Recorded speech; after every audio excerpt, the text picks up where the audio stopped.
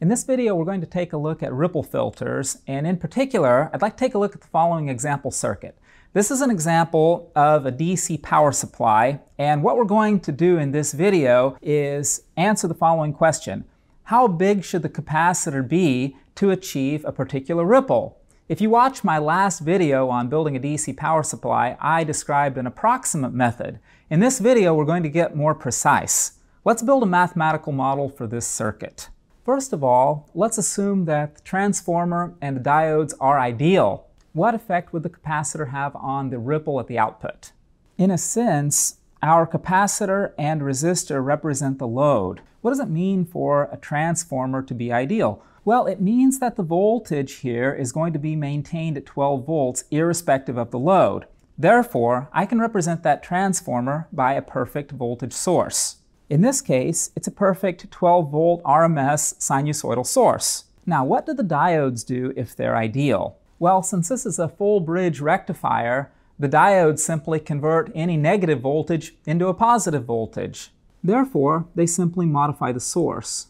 Now we're left with the following question. What happens if that capacitor is in the circuit or if it's not in the circuit? To answer that, let's look at a slightly simpler situation. Let's say that I have a resistor hooked up directly to a 12 volt DC source, and I ask you, what is the voltage across the resistor? Well, it's obviously 12 volts. Let me now add a capacitor to this circuit. I'll ask the same question, what's the voltage across the resistor? Well, it's still 12 volts. And it's 12 volts irrespective of what capacitor I choose because that source is ideal. If the capacitor is 2 microfarads or it's 2 megafarads, because it's a perfect source, the voltage is still going to be 12 volts. Therefore, the capacitor has absolutely no effect on this particular circuit.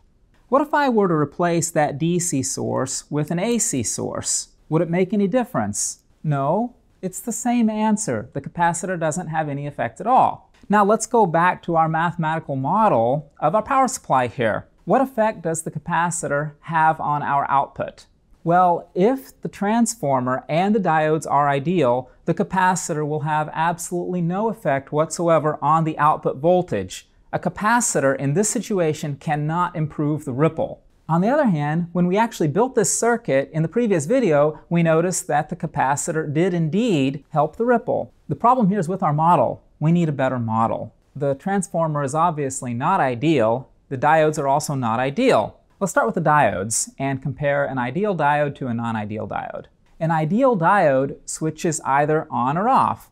If the voltage is positive, then current passes through the diode, otherwise it's blocked. Let's look at a semi-ideal diode. Let's assume that it has a turn-on voltage or a threshold voltage. Normally, if it's a silicon diode, then that threshold voltage will be about 0.7 volts. If the voltage is higher than the threshold voltage, then current will flow through the diode. Anything less than that, the current will be blocked. A more realistic model of a diode is now shown. If the voltage is greater than the threshold, then the diode has some built-in resistance as indicated by the slope of the line here. Otherwise, current is blocked if the voltage is below the threshold. Let's now take a look at the transformer. An ideal transformer will maintain the same output voltage irrespective of the current passing through the load. Of course, that's not what happens with normal transformers. If you've watched my video on non-ideal transformers, you might recall that we can model the output side of a transformer as having a series resistance there with the load. This causes the voltage to start to fall as more and more current is drawn through the secondary side of the transformer. Since both the transformer and the diode effectively have built-in series resistances, we can now improve our model a little bit. I'm lumping them together here. By the way, R sub D is not exactly the resistance of one particular diode because at any particular moment, two of the diodes are actually going to be turned on here. This is the model that we're going to be using. In the previous video, I actually built this circuit, so this is the transformer that we used. Let's take a look at the data sheet and see if we can come up with a more realistic model for this particular transformer. In particular, I'm interested in the R sub T, that series resistance at the secondary side.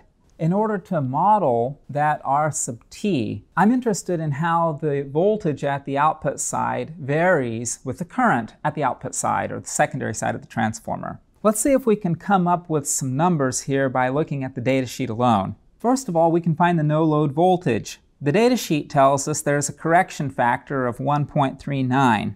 Our no-load voltage is thus 16.68 volts. The power indicated here is basically the maximum load. This will give us another point on the graph. We know that current is power divided by voltage, and the voltage at maximum load is 12 volts. Therefore, we can find the current. It's 0.125 amperes, and this corresponds to 12 volts. Therefore, we have another point on our graph. Our transformer series resistance will be the slope of that line. This works out to 37.4 ohms. In the last video, I put together this circuit without the capacitor in parallel with the load. In the oscilloscope, we obtained a voltage versus time plot that looked like this. Three different data points were measured in the course of that video. They're shown on the graph. If we plot a trend line, we can read the resistance from the slope of the line. This includes the effect of both the transformer and the diodes. Together, of course, the resistance is higher than that of the transformer alone. This is what we're going to use in our model, 76.7 ohms. I would now like to work out a detailed example. Plot the output waveform with various choices of the ripple capacitor. It's this non-ideality in our transformer and diodes that allows the ripple capacitor to function as a filter in this particular circuit. We're going to be assuming a load resistance of 152 ohms and a peak voltage of 24 volts showing up at the output if the capacitor is not there at all. This is what our model looks like. And here at the input side, we effectively have a rectified signal. This is what it would look like if the diodes didn't have any turn-on voltage at all. But we know that they have a 0.7 volt turn-on voltage. Therefore, it's flat at the bottom a little bit. This peak is 24 volts. This is not really an easy problem to solve because this is an example of a nonlinear source. The way to handle it is to linearize it. We're going to use the same strategy that we've used in some of our previous videos. We're going to convert this nonlinear source into a sum of sine waves and then use superposition in order to find the output voltage. The first thing we need to do is express this odd-looking signal as a sum of sine waves. We need to use a Fourier series in order to do that. First, we identify the period. It's 1 divided by 2 times our line frequency, which here in Singapore is 50 hertz. That gives us a period of 0.01 seconds. In order to find the components of our Fourier series, or the coefficients here, we apply the following formula. It's not easy to take these integrals. In general, there's no analytic solution.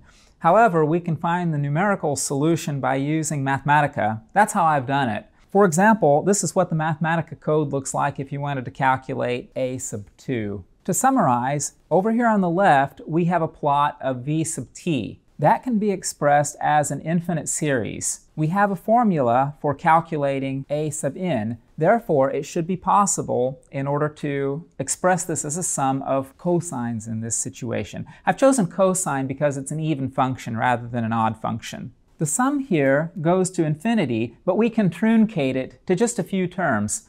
Let's take a look at how the signal gets better and better the more terms we add to the series. Here's what it looks like with just one term. This gives us the DC average. Here's what it looks like with two terms, three terms, five terms, and 26 terms. I think that this particular expression for the voltage very closely resembles the voltage of our non-sinusoidal expression that we started with. Let's go with this one. To summarize, we now have an expression for the voltage. We'll truncate our Fourier series at 26 terms. We have a complete description of the input voltage, in other words. Let's now proceed to the problem. We're going to plot the output waveform with various capacitor choices. How are we going to do that? Well, we already have an expression for our input voltage. We're going to be using superposition in order to find the voltage at the output. Since our voltage can be expressed as a sum of cosines, we can solve the circuit separately for each one of them. We can then use superposition to find the voltage across the load. Let's draw the circuit for just one of these voltage sources in the series here. Let's now convert this circuit into phasor form. If we look up here at our expression for V sub n, we see that each component has an amplitude of AN and a phase of 0 degrees. Therefore, we can just write AN angle 0 for that source. Our impedance is 1 divided by j omega c. Omega, of course, changes with n. Let's say that our output voltage has magnitude b sub n and phase offset phi sub n. In other words, this will be the time domain expression for our output voltage. We can use voltage division to actually find the expression of this output voltage per source. We can drop the phase angle of zero and expand out our components that are in parallel. Finally, we have an expression for the output voltage in terms of the input voltage and all of our components of the circuit. Let's now summarize what we've done. We started with a complicated input voltage, something that's not sinusoidal, but we've taken that input voltage and we've expressed it as a sum of 26 sine waves by using the Fourier series. We have an output in terms of our input in phasor form. We know all of the Bn, we know all of the phi n through this expression. Therefore, we have an expression for the output voltage as a function of time. I've used the computer program Mathematica in order to make the following plots. Let's see how the output waveform now looks as I change the capacitor. Let's start with no capacitor at all, or zero microfarads. Without a capacitor, we simply have a voltage divider. Our output voltage here in blue is just a reduced version of our input voltage. Here's what it looks like if we add a 25 microfarad capacitor in parallel with our load resistor. 50 microfarads, 100 microfarads, 470 microfarads, you can see that our ripple is improving. That's what we expect the larger the capacitor becomes. 1000 microfarad, we're almost at a 5% ripple now, 2.2 millifarads, and finally 3.3 millifarads. The solution here tells us that a ripple is less than 2%. I've actually carried out these calculations for a large number of capacitors so that we can see exactly how the ripple changes as a function of the capacitor. On the left here, we have ripple expressed as a ratio. So when there's no capacitor at all, the ripple is 100%. As the capacitor gets larger and larger, the ripple starts to fall and approaches zero with very large capacitors.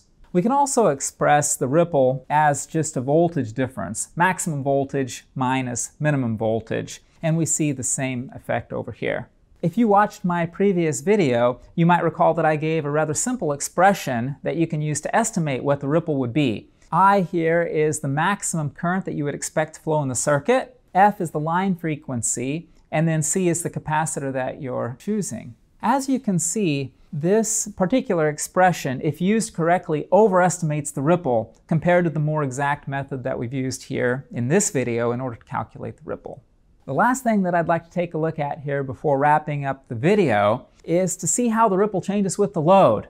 As you can imagine, if you use a very large load resistor, then it won't draw very much current from your circuit and a capacitor doesn't have very much trouble maintaining the low ripple voltage that you would like from any DC power supply. However, as the load resistor gets smaller and smaller, or in other words, it starts to draw more and more current from your power supply, then the ripple is going to get worse and worse. What I hope that you've learned from this video is that by using things like phasors, by using things like Fourier analysis, you can in fact calculate very exact expressions for things like ripple voltage. I hope that you've come to understand how power supplies can be designed from first principles. This video is part of an organized sequence where I explore various AC and switching circuits. If you enjoyed it, then you might consider following the channel's playlist to learn more about these types of circuits.